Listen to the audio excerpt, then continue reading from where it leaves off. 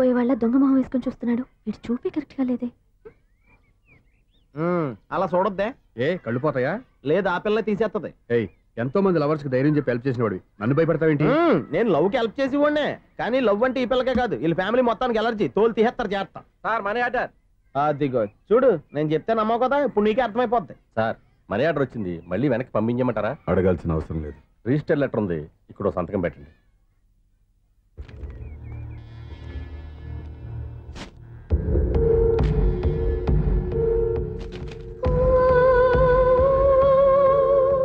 Money order ఎక్కడి నుంచి వచ్చింది అనుకున్నావు?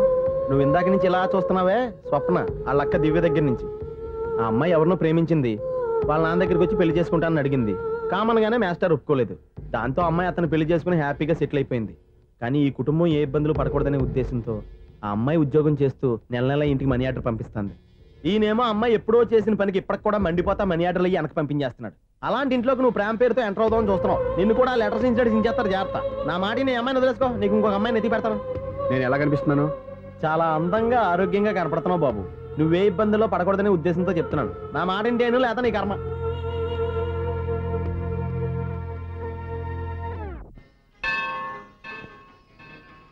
ఐసు కాసేపు కూర్చుంటావా? నేను నవగ్రహ ప్రదక్షిణాలు చేసేస్తాను. కూర్చోవడం దేనికి? ఈ మెట్లన్నీ నేను దిగేసరికి తెల్లారిపోతుంది. నువ్వు వెళ్ళి తిరిగిరా ఈ లోపల ముక్కుతూ ములుగుతూ నేను దిగేస్తాను. సరే. అమ్మయ్యా ఈ దేవుళ్ళు ఎందుకు ఎప్పుడు కొండల్లోనూ గుట్టల్లోనూ అడవుల్లోనే ఉంటారు? అంతేలే దగ్గరగా ఉంటే పాపాత్ములంతా చుట్టుకుపోరు. అందుకేనేమో. అయ్యో బాబోయ్ కాలు తిమిరి అమ్మా! ఏదో అందరి ముందు యూత్లాగా మెయింటైన్ చేసేస్తున్నానే కానీ ఇంతకు ముందులా కాళ్ళు వంకటమే లేదు. నడుము పైకి లేవటం లేదు. ఈ మెట్టు దిగుతుంటేనే నేను ఎంత యూత్గా ఉన్నానో అర్థమైపోతుంది.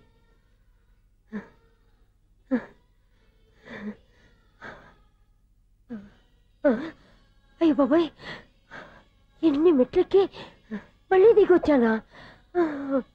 ఇంతకు ముందులాగే ఎన్ని మెట్లెక్కలేను కానీ ఇక్కడి నుంచే దండం పెట్టుకుంటాను.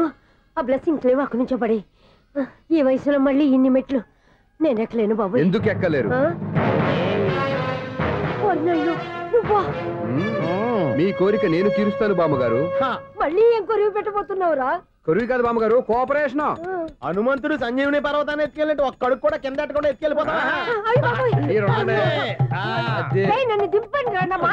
రా హెల్పింగ్ విషయంలో నేను ఎవరి మాట విన్నాం? నేను కూడా. దండం పెడతాను రా బామ్మగారు ఎన్నిసార్లు చెప్పాలి నా పేరు సూర్య అని ఏదో ఒక ఆర్య నన్ను దింపండి రా మీకు పుణ్యం ఉంటుంది. ఏ, మధ్యలో దింపేస్తే మాకు పాపం వస్తుంది. ఒరే మిమ్మల్ని మెట్ల మీద నుంచి తోసేయ్యా. నన్ను వదలండి రా చూసావా బెదరు? పండు ముసలి కదా అని పందిలో మోసుకెళ్తుంటే బోసు వేసుకుని వచ్చినట్టు తిట్టేస్తుంది. బామ్మగారు నోరు మూసుకుని రామారామా అనుకోండి. నోరు మూసుకొని రామ రామని ఎలా అనమంటావు? మ్మ్. నోరు మూసాం మీరు మనసులో అనుకోండి. బామ్మ వచ్చేసాం ఏ, వచ్చామండి అబ్బా. చూసావా? ఎంత ఈజీగా పైకి తీసుకొచ్చావా? ఇప్పుడు హ్యాపీయా అమ్మయ్యా ఈ రోజుకి ఒక పుణ్యకారం పూర్తి చేసాం ఇప్పుడు కూడా స్ట్రైట్గా దేవుడి దగ్గర దింపేసేవాళ్ళం. కానీ ఈ కాస్త దూరం నడిస్తే నీకు పుణ్యం వస్తుంది కదా? బామ్మగారు లోపలికి వెళ్ళి మీరు ఒక్కళ్ళే దండం పెట్టుకోవడం కాదు. మా ఇద్దరు పేర్ల మీద కూడా రెండు దండాలు పెట్టేసుకోండి మీ ఆనందం చూస్తుంటే మా పేర్ల మీద అభిషేకం చేయించాలి బామ్మగారు మెట్లెక్కలే కష్టపడుతుంటే మేమే ఈజీగా పైకి తీసుకొచ్చాం. Helping helping nature helping tendency ముసలిదైనా బరువు బండి ఉందండి బాబు. ఐసు నువ్వు కిందకి దిగాలి కదా వాళ్ళు పైకి తెచ్చావంటారేంటి? కర్మ. అదేనమ్మా నా కర్మ? ఎంతో కష్టపడి ఒక్కొక్క మెట్టే కూర్చుంటూ పాక్కుంటూ ఆయాసపడి కిందకి దిగితే ఆ వెదవులు ఆ వెదవులు నన్ను తీసుకొచ్చి ఇక్కడ పడేశారు. వాళ్ళు ఎత్తుకొస్తూ ఉంటే నువ్వైనా వద్దని చెప్పొచ్చు కదా? నన్ను ఎక్కడ చెప్పనిచ్చారు? పైగా గట్టిగా నోరు మూసేస్తే చంటి పిల్లని తీసుకొచ్చినట్టు తీసుకొచ్చి ఇక్కడ పడేశారు గాడిదలు. పైగా హ్యాపీ అంట హ్యాపీ. బాబాయ్ ఇన్ని మెట్లు మళ్ళీ నేను ఎలా దిగగలను? నా వల్ల కాదు బాబాయ్. అతని సారి వస్తే ఇలాంటి హెల్ప్ లేవి చేయొద్దని చెప్పు. ఎలా చెప్పును? వాళ్ళు ఏ టైంలో ఏ కారణం నుంచి వస్తారో కూడా తెలియదే వాళ్ళు నన్ను చంపేదాకా హెల్ప్ మీద హెల్ప్ చేస్తూనే ఉంటారు.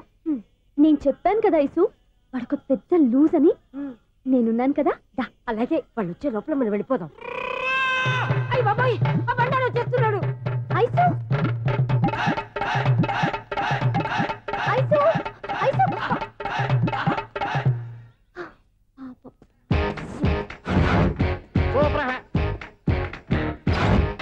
Five six cut చేయరా?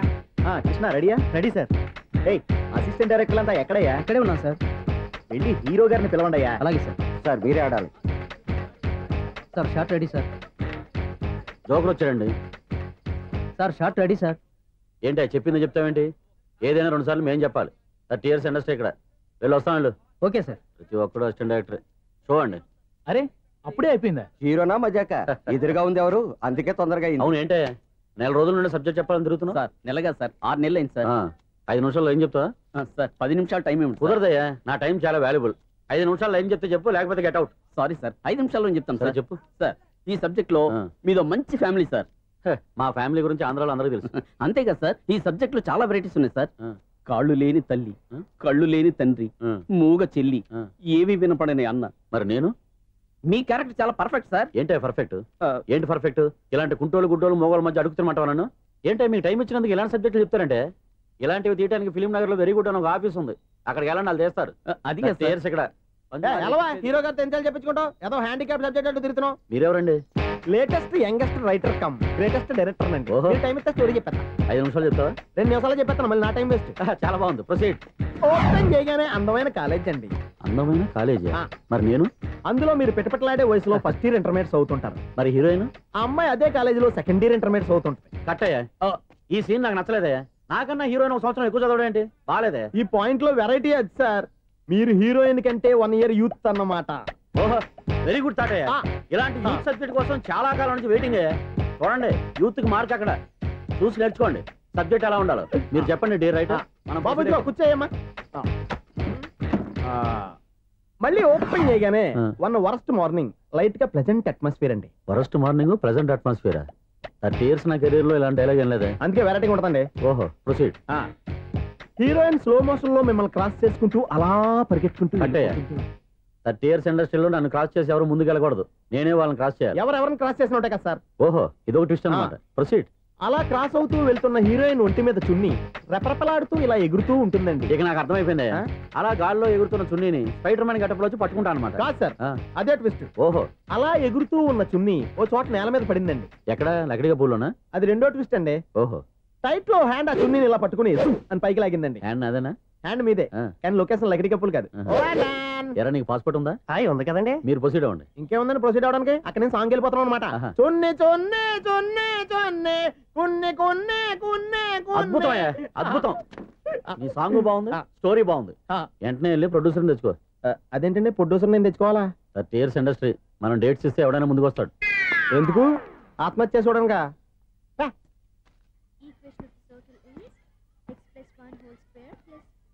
Two whole square is equal to five square. Okay అక్క. Mm. So తాగరా. x square plus two x ఇదిగోమ్మా. plus one. ముందు తాగరా తర్వాత చదువుకుంది గాని minus four y plus four is equal to ఎంత? ఈ మాత్రం టాలీ చేయడం కూడా రాదు. ప్లస్ టూ లోకి ఎలా వచ్చారా ఎంత గట్టిగా తగిలిందో. తగిలింది దెబ్బ కాదు. తలకాయ ఓట్ సౌండ్ వచ్చింది. మ్మ్, నీకు అలాగే అనిపిస్తుందిలే. మ్మ్. ఏంటి? ఏం కావాలి? ఆ, ఏం కావాలంటే? అది సార్ గారు? నాన్నగారు బయటకు వెళ్ళారు ఎప్పుడు వస్తారో తెలీదు. ఓహో ఇంకో మ్యాటర్ ఏంటంటే? ఏ మ్యాటర్ చెప్పొద్దు. బయట కాలింగ్ బెల్ ఉంది కదా? వచ్చే ముందు బెల్ కొట్టాలని తెలీదా? అదే కాలింగ్ బెల్ ఎక్కడ ఉందో అడుగుదామని. ఎక్స్ట్రాలు వద్దు నాన్నగారు వచ్చిన తర్వాత రండి. అబ్బో పెద్ద నిప్పు. ఫైర్ బ్రాండ్ లా మండిపోతుంది. ఎక్స్క్యూజ్ మీ ఆ? సెవెంటీన్ డి బస్ వెళ్ళిపోయిందండి. ఇక్కడ ఎల్లో చూడిదార్ వేసుకుని ఒక పెద్ద ఫిగర్ లా ఫీల్ అయిపోతుంటది. అది ఉందా లేదు సార్. అయితే బస్ కూడా వెళ్ళిపోయింది. ఏరా? రోజు మా చెల్లిని టీస్ చేసి ఏడిపించేది నువ్వే కదరా?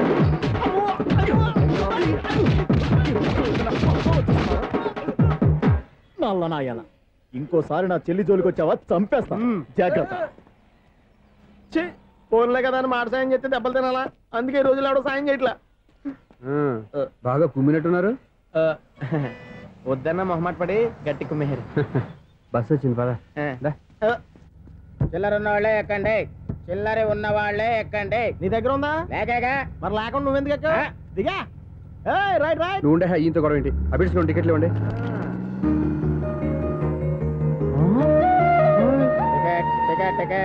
ఇదా లాజిక్ బైక్ ఎందుకు రిపేర్ అయింది? ఇప్పుడు అర్థమైందిరా. బోర్డు డౌట్లు వద్దు? కాస్త సైలెంట్గా ఉండు.